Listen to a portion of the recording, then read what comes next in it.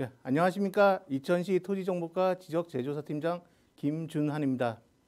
코로나19로 사회적 거리 두기가 계속 시행되고 5인 이상 모임 금지 등에 따라 지적재조사 사업이 지연되고 있습니다.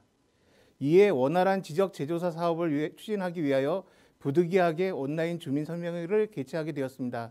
시민 여러분들의 많은 양해 부탁드리겠습니다. 2021년 이천시 지적재조사 사업에 대한 설명을 시작하겠습니다. 설명 순서는 지적재조사 사업 추진 배경, 사업 개요, 사업 절차, 경계 설정 기준, 조정금 산정, 토지 소유자 협조 사항 및 기대 효과 순으로 말씀드리겠습니다. 100여 년 전 일제 감정기에 만들어진 종이 지적을 지금까지 그대로 사용하고 있어 지적이 디지털에 맞지 않고 측량 기술의 발달로 지적 공부의 등록 사항이 토지 실제 현황과 일치하지 않는 경우가 전 국토의 15%에 달하고 있어 이를 방치할 경우 심각한 문제가 발생할 우려가 있습니다. 이에 지적 공부의 등록 사항을 조사, 측량하여 종이로 된 지, 기존의 지적 공부를 디지털에 의한 새로운 지적 공부로 전환하고 토지의 실제 현황과 일치하지 않은 지적 공부의 등록 사항을 바로 잡음으로써 국토를 효율적으로 관리함과 아울러 시민의 재산권을 보호하려는 것이 지적재조사 사업의 목적입니다. 다음은 2021년 지적재조사 사업 지구에 대하여 설명드리겠습니다. 우리 시에서는 21년도에는 10개의 사업 지구를 추진합니다. 해당 지구들은 지적토상 경계와 실제 점유 현황이 불일치하여 경계 분쟁과 재산권 행사 제약 등에 해소하기 위해 다수의 토지 소유자의 신청 등을 통해 지적 제조사 지구로 지정, 지정하여 사업을 추진하고자 합니다. 먼저 마음지구 지적 제조사 사업입니다. 위치는 부바로 마음리 143의 1번지 일원으로 162필지 12만 1000제곱미터입니다. 토지 소유자는 90명으로 3천여만 원의 예산으로 2022년 12월 30일까지 사업이 추진됩니다. 다음은 경사지구 지적 제조사 사업입니다. 위치는 백사면 경사리 159번지 1원 164필지 11만 2천 제곱미터입니다. 토지 소유자는 86명으로 3천여만 원의 예산으로 또한 2022년 12월 30일까지 사업이 추진됩니다. 다음은 내촌리 지적 제조 사업입니다. 위치는 백사면 내촌리 63의 1번지 1원 198필지 9만 제곱미터입니다. 토지 소유자는 64명 3,700여만 원의 예산으로 2022년 12월 31일까지 추진되는 사업입니다. 우곡 지구 지적 제조 사업입니다. 위치는 백사면 우곡리 15번지 1원 203필지로 18만 2천 제곱미터입니다. 토지 소유자는 96명 3,800여만 원의 예산으로 22년 12월 31일까지 추진되는 사업입니다. 다음은 관리지구 지적 제조 사업입니다. 위치는 마장면 관리 206의 1번지 1원 229필지 13만 8천 제곱미터입니다. 토지 소유자는 73명 4,300여만 원의 예산으로 2022년 12월 31일까지 추진되는 사업입니다. 다음은 사동지구 지적 제조사 사업입니다. 위치는 대월면 사동리 100의 1번지 1원 199필지 8만 1 제곱미터입니다. 토지 소유자는 100여, 명 3,900여만 원의 예산으로 2022년 12월 31일까지 추진되는 사업입니다. 다음은 도리리 지적 제조사 사업입니다.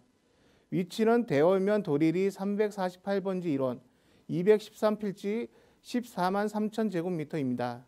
토지 소유자는 96명 4천여만 원의 예산으로 2022년 12월 31일까지 추진되는 사업입니다. 다음은 진가지구 지적 제조 사업입니다. 위치는 모가면 진가리 292번지 1원 361필지 19만 1000 제곱미터입니다. 토지 소유자는 174명 6,800여만 원의 예산으로 2022년 12월 31일까지 추진되는 사업입니다. 다음은 서경지구 지적 제조 사업입니다. 위치는 모가면 서경리 220번지 1원 218필지 13만 9천 제곱미터입니다. 토지 소유자는 117명 4,100여만 원의 예산으로 2022년 12월 31일까지 추진되는 사업입니다. 마지막으로 오성지구 지적 제조 사업입니다. 위치는 율면 오성리 48번지 1원 116필지 8만 4천 제곱미터입니다. 토지 소유자는 53명, 2,200여만 원의 예산으로 2022년 12월 31일까지 추진되는 사업입니다. 다음은 사업 추진 절차에 대해 설명드리겠습니다. 실시 계획이 수립되면 주민 설명회, 측량 대행자 선정 후 지적 제조사 측량을 실시합니다. 경계 조사 및 토지 소유자 간 경계 합의를 통해 임시 경계점 표지가 설치되고 이천시 경계결정위원회 심의 의결로 경계가 확정됩니다. 확정 경계에 대한 이의 신청 절차가 있으며 확정 경계에 따른 면적 증감이 있을 경우 조정금을 지급, 지급 및 징수가 됩니다. 경계 설정 기준에 대하여 말씀드리겠습니다. 지적 제조사에 관한 특별법 제14조 경계 설정 기준에 따라 지상 경계에 대하여 토지 소유자 간 다툼이 없는 경우 토지 소유자가 점유하는 토지 현실 경계로 지상 경계에 대하여 토지 소유자 간 다툼이 있는 경우 등록할 때의 측량 기록을 조사한 경계 지방 관습에 의한 경계 설정 순으로 경계를 설정하며 위 방법에 따라 지적 제조사를 위한 경계 설정이 불합리하다고 인정되는 경우 토지 소유자, 소유자 들이 합, 합의한 경계를 기준으로 경계를 설정할 수 있습니다. 조정금 산정에 대하여 설명드리겠습니다.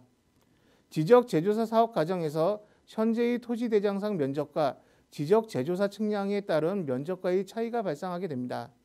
이때 면적이 늘어난 토지 소유자는 조정금을 시에 납부하고 토지 면적이 감소하면 조정금을 시에서 지급해 드립니다.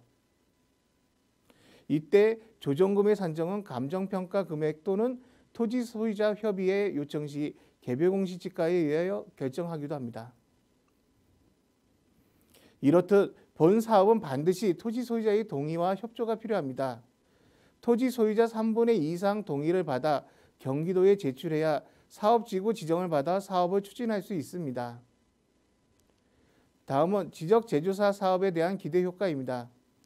합리적인 경계 조정을 통한 토지의 가치가 상승하며 경계가 분명해져서 이웃 간 분쟁이 해소되고 경계 분정 비용이 절감되어 사회적 비용이 감소됩니다. 다음은 주로 질문하시는 두 가지에 대하여 설명드리겠습니다. 지적 제조 사업이 도로를 새로 만들어주는 사업인지에 대한 문의입니다.